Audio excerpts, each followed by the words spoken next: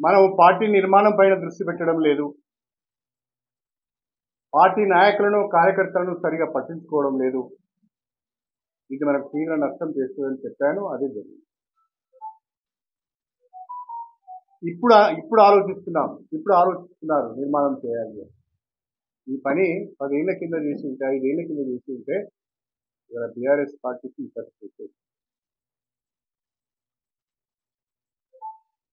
ఎన్నికల సందర్భంగా ఎన్నికల తర్వాత కూడా చెప్పాను నేను.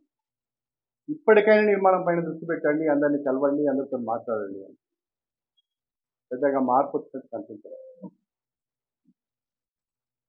ఇప్పటికైనా ఆ ప్రయత్నం చేస్తే పార్టీ బతుకుతుంది. లేకుంటే ప్రమాదకరంగా బీజేపీ తెలంగాణలో ఎదిగితే బీఆర్ఎస్ ఇంకా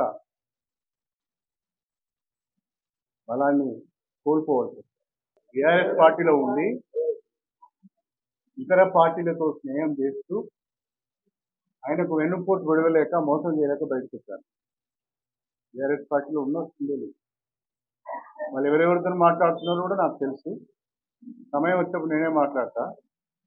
ఎవరెవరు ఎవరితో మాట్లాడుతున్నారు ఎవరెవరు ఎన్ని రకాలుగా ప్రాధాయపడుతున్నారు మీ దండం పెడతా ఆ కేసు నుంచి అనేది మీ పార్టీలో చూస్తామని అవస్థ అని ఎవరు అడుగుతున్నారు? తర్వాత వస్తాయి కదా ఎక్కువ అనుకుంటారు. అది నా గర్వ నాకున్న గర్వం కాదు. దళితుడినైనా ఆత్మాభిమానంతో బ్రతకాలి ఆత్మగౌరవంతో బ్రతకాలి అనేది నా ఆలోచన. తప్పు చేయనప్పుడు ఎవరికి తలవంచవలసిన అవసరం లేదు అనేది నా ఆలోచన. అది మీకు గర్వంగా కనిపించవచ్చు. ఆహా అదనా వీడేంది? ఇక మాట్లాడుతాను అనుకోవచ్చు. అది మీ అహంకారపూరితమైన ఆలోచన.